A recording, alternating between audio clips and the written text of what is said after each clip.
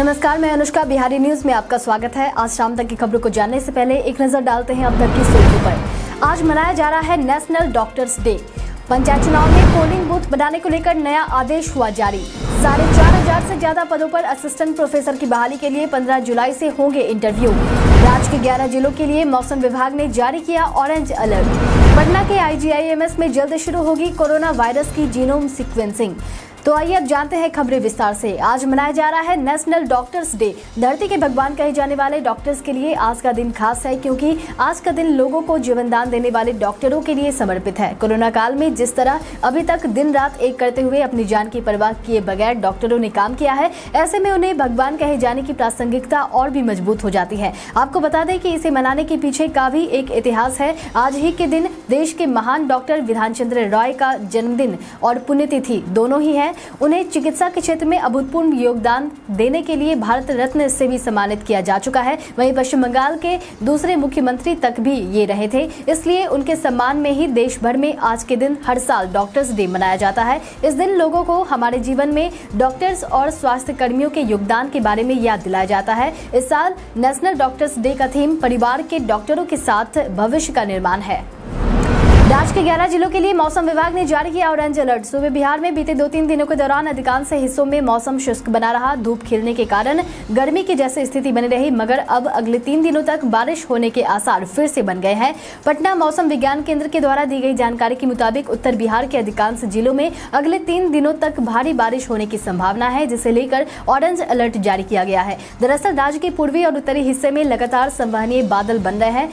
साथ ही उत्तरी क्षेत्र से मानसून की अक्षीय रेखा गुजर रही है, जिस कारण अगले बहत्तर घंटों के दौरान हिमालय की तलहटी से जुड़े बिहार के जिलों में भारी बारिश हो सकती है। इसे लेकर भागलपुर, कटिहार, पूर्णिया, किशनगंज, अररिया, शिवहर, सुपौल, दरभंगा, सीतामढ़ी, पूर्वी और पश्चिमी चंपारण में गर्जन के साथ अतिवृष्टि की चेतावनी जारी हुई है। यह स्थिति कल शुक्रवार तक बनी रह सकती है। मत्स्य विभाग में कार्यरत कई अफसरों का किया गया तबादला। बिहार में इन दिनों अलग अलग विभागों में तबादले का दौर जारी है। इस क्रम में अब सरकार के पशु एवं मत्स्य पालन विभाग के कई कर्मियों और अफसरों का बड़े पैमाने पर ट्रांसफ़र किया गया है। इसके तहत दरभंगा, पटना, सहरसा, छपरा, समस्तीपुर, बेगूसराय, मुंगेर, सीतामढ़ी, सुपौल, औरंगाबाद, लखीसराय, किशनगंज, अररिया, भोजपुर, अरवल, गोपालगंज, लखीसराय आदि जिलों में वर्तमान में पदस्थापित अधिकारियों और कर्मियों का तबादला विभिन्न जिलों में किया गया है। विभाग की ओर से जारी अधिसूचना के अनुसार मत्स्य पदाधिकारी, संयुक्त निदेशक उप निदेशक उप मत्स्य निदेशक, गव्य विकास पदाधिकारी, डेयरी फ़ील्ड अफसर, डेयरी टेक्निकल अफसर समेत कई पदाधिकारियों का ट्रांसफ़र हुआ है।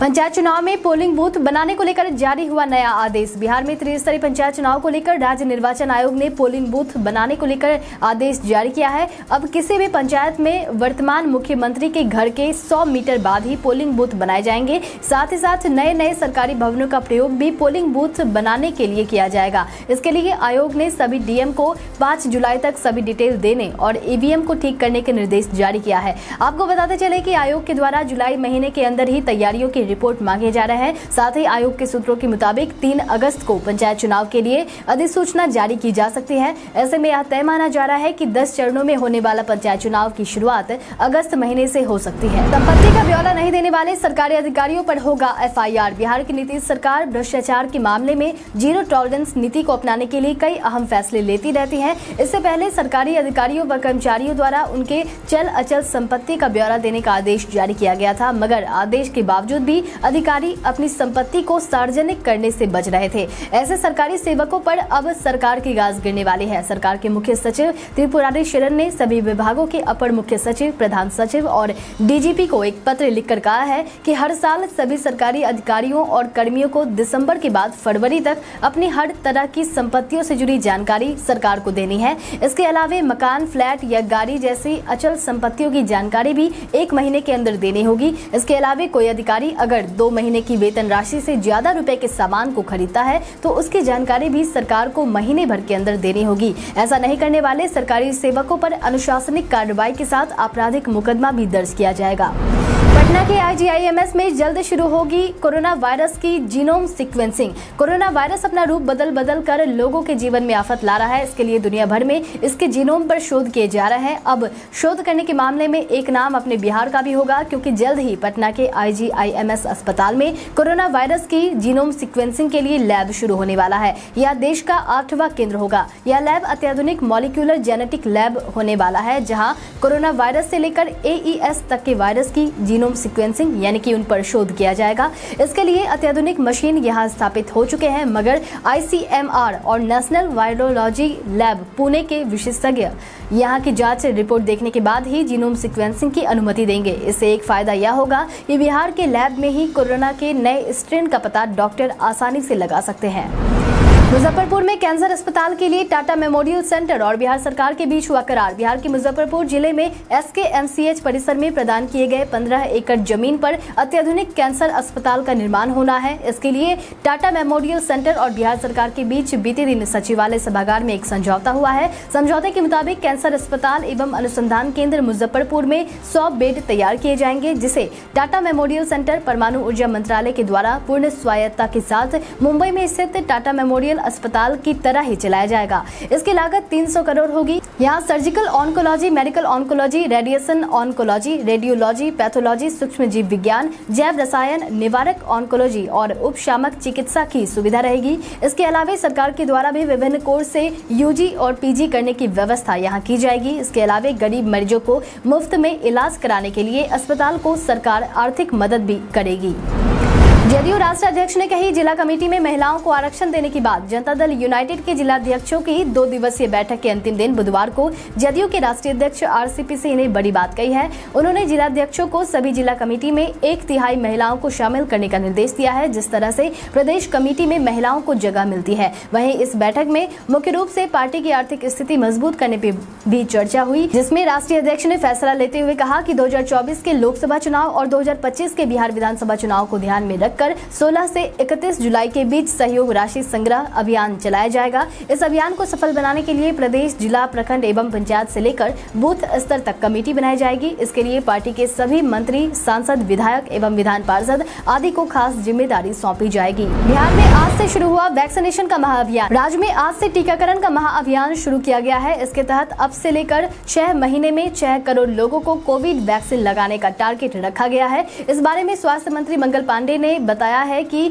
महाअभियान में हर दिन ज़्यादा से ज़्यादा लोगों को टीका लगा सके। इसके लिए केंद्रों की संख्या बढ़ा दी गई और बड़ी संख्या में स्वास्थ्य कर्मियों को भी तैनात किया गया है। अभियान को लेकर केंद्र सरकार ने भी तत्काल रूप से बिहार को सात दशमलव सात पाँच लाख डोज वैक्सीन की खेप भेजी है। वहीं रविवार से सोमवार के बीच दस लाख और खेप बिहार को मिलने वाली है। गौरतलब है कि कोरोना की तीसरी लहर आने के अंदेशे से बिहार सरकार पहले ही राज्य के लोगों को सुरक्षा के लिए वैक्सीनेटेड कराना चाहती है ताकि नुकसान कम हो सके। again.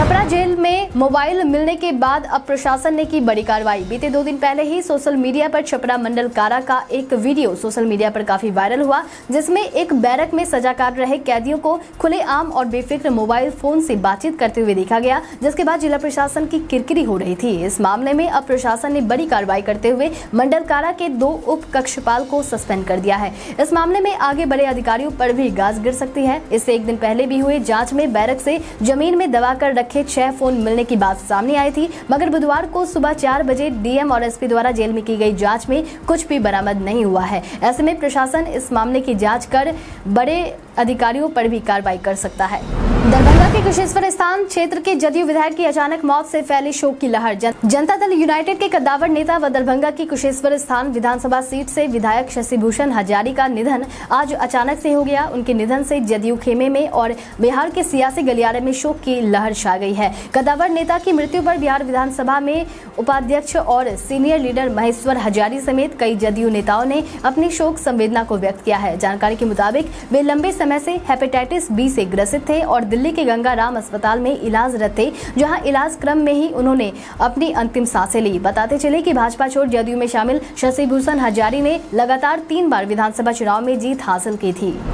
पटना मेट्रो निर्माण के रास्ते में पड़ने वाले मकानों को तोड़ने का जारी हुआ आदेश। राजधानी पटना के लिए मेट्रो परियोजना एक महत्वाकांक्षी परियोजना है, जिसके लिए लैंड प्लान का काम किया जा रहा है। इस क्रम में कंकड़बाग के मलाही पकड़ी में अतिक्रमण के कारण परेशानी हो रही है, जिसे लेकर पटना मेट्रो कॉरपोरेशन के साथ हुई बैठक में जिलाधिकारी ने अतिक्रमण हटाने का आदेश अधिकारियों को दिया है। डीएम ने कहा कि मेट्रो के रास्ते में जो भी अवैध रूप से बने पक्के मकान बने हुए हैं, उन्हें तोड़ने की कार्रवाई जल्द से जल्द किया जाए। इसके साथ ही रैयती भूमि के लिए मूल्य निर्धारण के लिए छह सदस्यीय टीम भी बनाई गई है। इसके लिए सरकारी भूमि के हस्तांतरण के लिए संबंधित विभागों से एनओसी लेने की कार्रवाई भी की जा रही है। साढ़े चार हज़ार ऐसी ज़्यादा पदों पर असिस्टेंट प्रोफेसर की बहाली के लिए पंद्रह जुलाई से होंगे इंटरव्यू। बिहार में चार हज़ार छह सौ अड़तालीस पदों पर असिस्टेंट प्रोफेसर की नियुक्ति के लिए पंद्रह जुलाई से इंटरव्यू प्रक्रिया की शुरुआत होगी। सबसे पहले अंगिका विषय के चार पदों के लिए बारह अभ्यर्थियों को साक्षात्कार में शामिल होने का मौका मिलेगा। वहीं बिहार राज्य विश्वविद्यालय सेवा आयोग की ओर से सभी अभ्यर्थियों को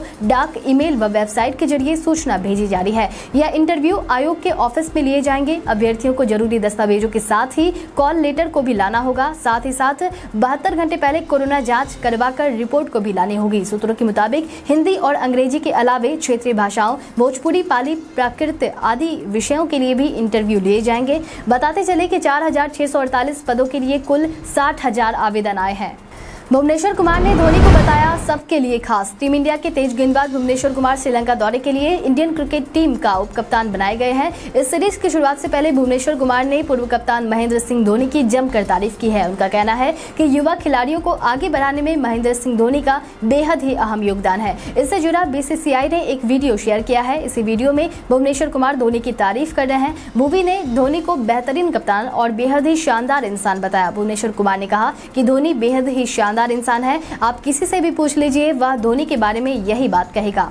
देश भर में लगातार चौथे दिन पचास हज़ार से कम आए एक्टिव मामले। देश भर में ताज़ा मामलों में कमी आने के साथ ही लगातार आज चौथे दिन भी पचास हज़ार से कम मामले दर्ज हुए हैं। स्वास्थ्य विभाग द्वारा जारी ताज़ा अपडेट के मुताबिक बीते 24 घंटे में कोरोना के अड़तालीस हज़ार सात सौ छियासी नए मामले सामने आए हैं। वहीं इस दौरान एक हज़ार पाँच लोगों की मौत हुई है। इस दौरान कुल इकसठ हज़ार पाँच सौ अठासी मरीज़ रिकवर भी हुए हैं, जिसके बाद देश भर में कोरोना के एक्टिव मरीजों की संख्या पाँच लाख तेईस हज़ार दो सौ संतावन हो गई है। वही बात अगर बिहार की करें तो बिहार बिहार में बीते दिन के बीते 24 घंटे के दौरान 260 नए मामले सामने आए हैं। इस दौरान 331 मरीज़ रिकवर भी हुए हैं, जिसके बाद राज्य में एक्टिव मरीजों की संख्या एक हज़ार सात सौ छप्पन हो गई है। वही रिकवरी दर अंठानवे फ़ीसदी हो गए हैं।